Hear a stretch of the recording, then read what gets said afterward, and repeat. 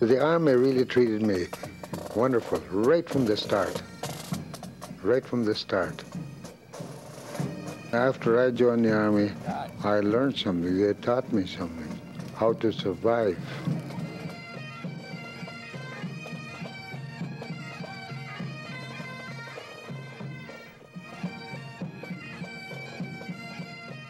The captain that was on the other end said, uh, uh, who's that out there walking around? I told him, I said, that was me. I said, the line was cut. I said, I went and fixed it. Well, he says, you're a bigger fool than I thought you were. I just laughed. I just laughed while I had to do something.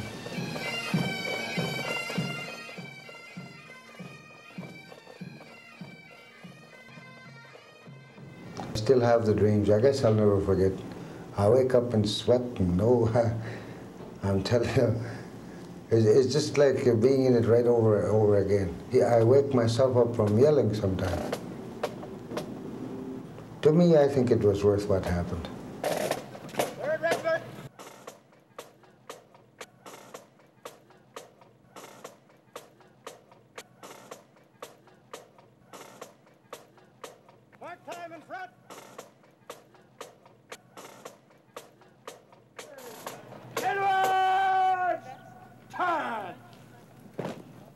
We did lose a lot of men. There's a lot of them walking around with just one leg. A lot of them walking around just one arm.